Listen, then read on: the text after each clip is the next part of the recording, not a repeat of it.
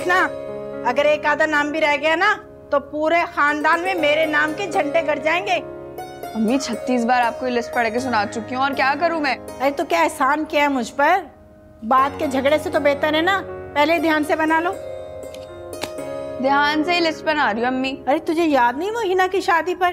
तेरे अब्बा मरहूम की कज़न शकीला ने कितना फसाद डाला था। उसकी छोटी बेटी को काट देना जो भूल गए थे। बाकी खानदान को छोड़े। लेकिन अगर हिना आपा के ससुराल से कोई मिस हो गया ना तो ऐसा तूफ़ान आएगा कि घर में छुपने की जगह ही नहीं बचेगी।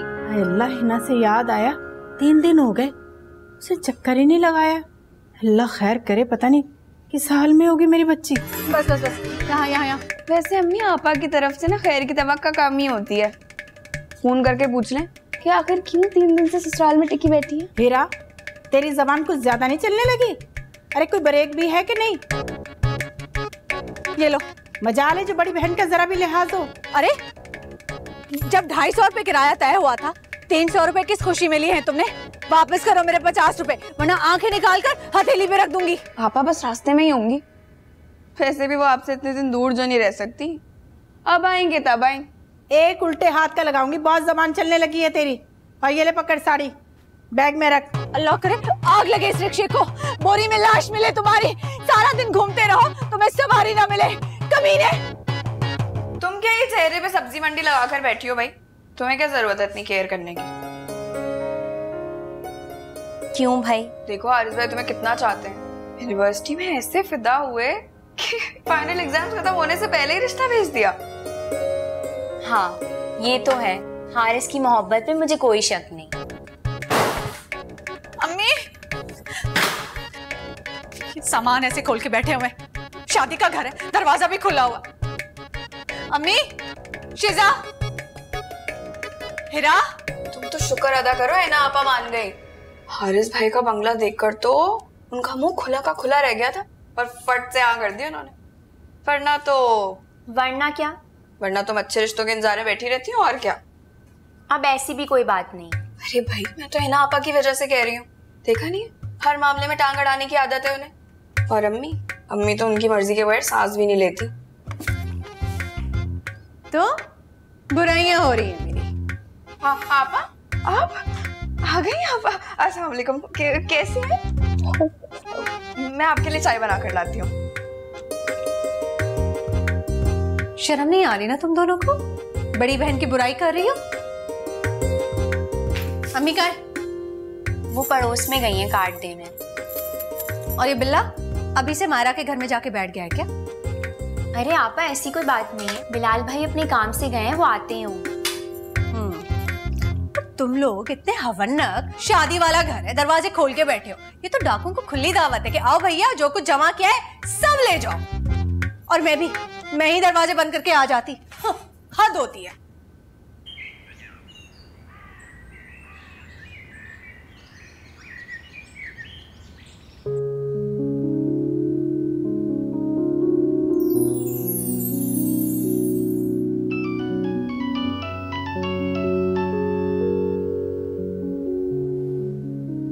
हेलो हम्म मिल गई आपको छुट्टियाँ? जी जनाब।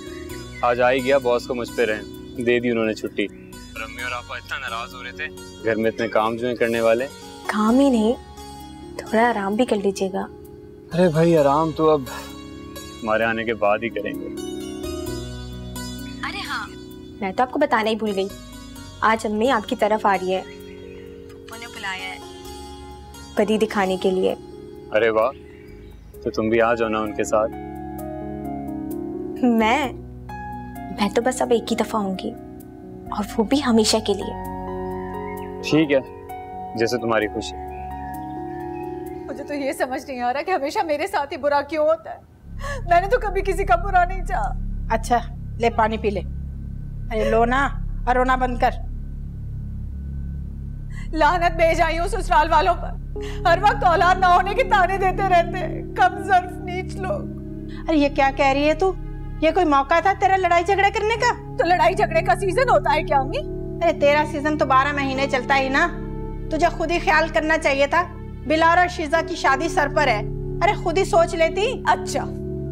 अब इस शादी की खातिर मैं ससुराल वालों की जूतियाँ खाती रहूँ। अरे मगर हुआ क्या?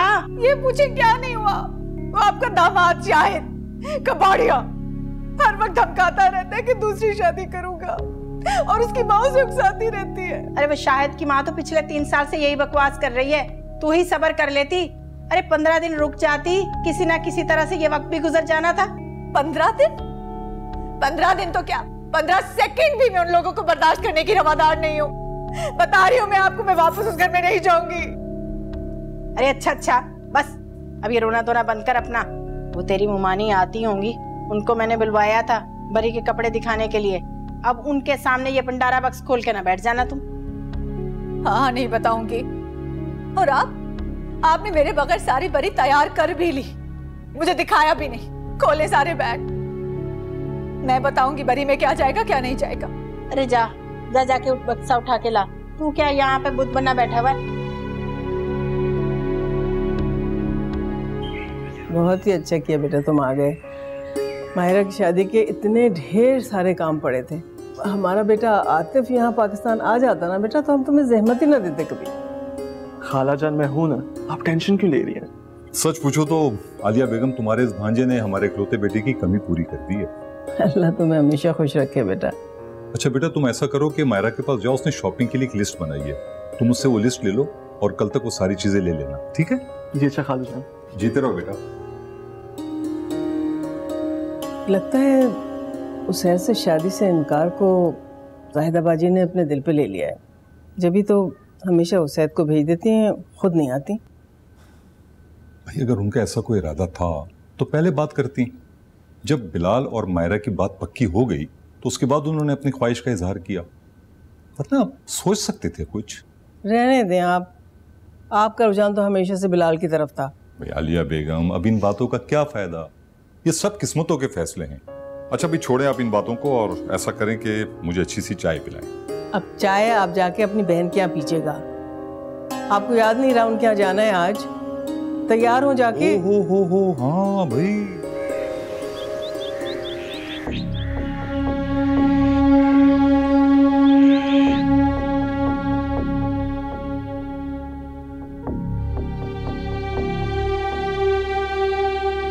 शक्ल और सूरत के अलावा शिजा में है क्या?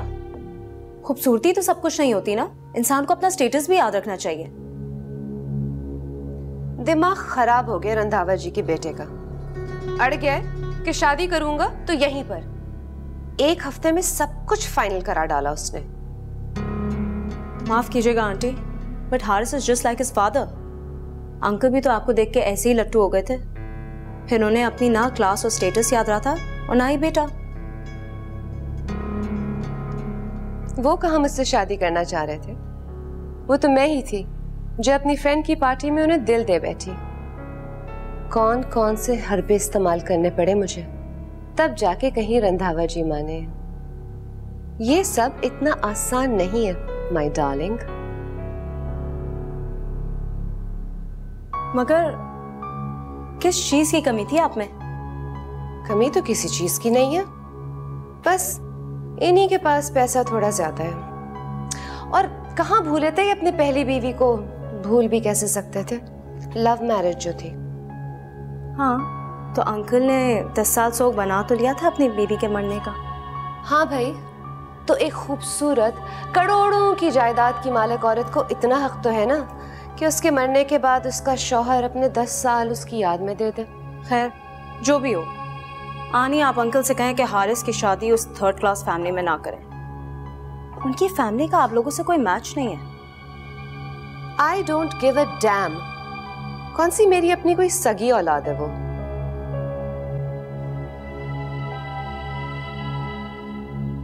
रसिया जरा हम दोनों के लिए चाय लेकर आना। ठीक है तो वो सगी औलाद नहीं है। मैं तो सगी भांजी हूँ ना? क्या मतलब है तुम्हारा? अनी किस चीज़ की कमी है मुझमें? स्टाइलिश हूँ एजुकेटेड हूँ। हाई क्लास सोसाइटी में मूव करना जानती हूँ। मेरी कहा सुनता है हारिस? सख्त नापसंद करता है मुझे। हालाँकि उसकी अम्मी के डेथ के बाद रंधावा जी ने किसी ना किसी से तो शादी करनी थी ना? मुझसे कर ली तो इसमें कौन सी क्यामत आ गई है? एक तो हर जगह आप अपनी प्रॉब्लम्स लेके बैठ जाती हैं। मैं क्या बात कर रही हूँ और आप क्या जवाब दे रही हैं? अच्छा बोलो क्या चाहती हो? आपको पता है मैं यूएई से सिर्फ़ हारिस की वजह से यहाँ एजुकेशन कंप्लीट करने आई थी। वरना यूके का ऑप्शन भी था मेरे पास। मेरी जान मेरी मानो तो ये हारिस का ख्याल दिल से निकाल दो। अगर शिजा से इसकी लव मैरिज ना हो रही होती ना तो फिर भी कोई चांस था। लेकिन अब इट्स इम्पॉसिबल आप गलत कह रही हैं। एवरीथिंग इज़ पॉसिबल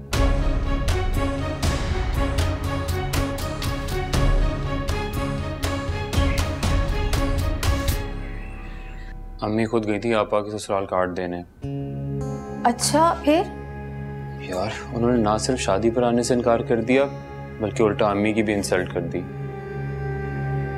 ये तो बहुत बुरा हुआ। आप हिना आपा को क्यों नहीं समझाते? वो ही कॉम्प्रोमाइज कर ले। मैं और आपा को समझाऊं? अरे आपा के सामने तो अम्मी तक की नहीं चलती। वो तो शिजा ही है जो उनके सामने बोलने का हौसला रखती है। हाँ वाकई बहुत बहादुर है वो। यूनिवर्सिटी में पढ़ने के लिए कैसे डट गई थी? हाँ और हारिस के रिश्ते के लिए भी तो स्टैंड ले लिया था ना। हम्म। आप आप ऐसे क्यों नहीं है?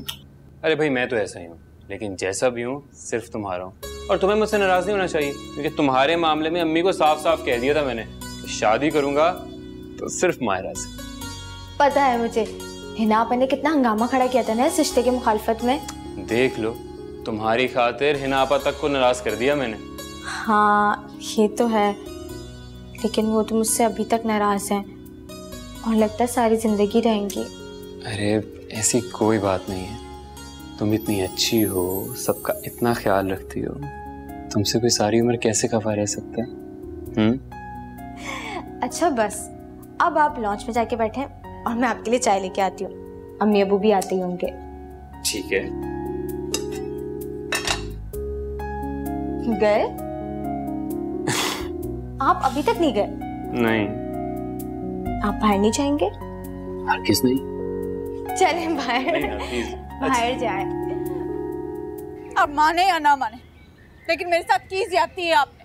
इतने बड़े जंजालपुरे में ब्याह दिया मुझे ये भी ना सोचा कि हिना का क्या होगा। अरे शुक्र कर ब्याह दिया था वरना तुम्हारे लिए कौन सा रिश्तों की लाइन लगी हुई थी? ये क्या बात की आपने?